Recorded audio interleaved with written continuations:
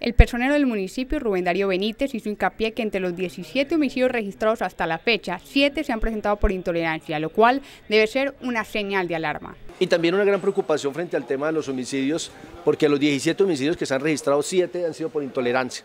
O sea, el año pasado el 90% de los casos fue producido por eh, el tema de consumo, distribución y negociación de sustancias eh, alucinógenas. Pero hoy ya siete homicidios por casos de intolerancia, los que nos tienen que llamar profundamente la preocupación sobre qué está pasando con los temas de convivencia en el municipio, con los temas de respeto hacia el otro y, como, y la forma violenta en que estamos solucionando los conflictos que se presentan en Tuluá. Por otro lado, el personero municipal habló sobre el papel de los jóvenes en medio de estos actos de violencia que se han presentado en el municipio. Eh, obviamente son ellos la población principal que que son víctimas,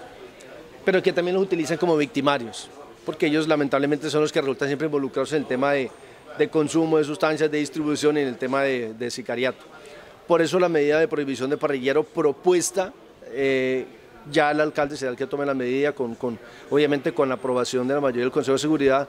es con la población menor de edad, mayores de 16 años y hasta una edad de los 40 años con las excepciones, con las excepciones de la gente que trabaja, que estudia, que labora, eh, pero son medidas que tenemos que implementar porque hay que preservar el principal derecho que es la vida.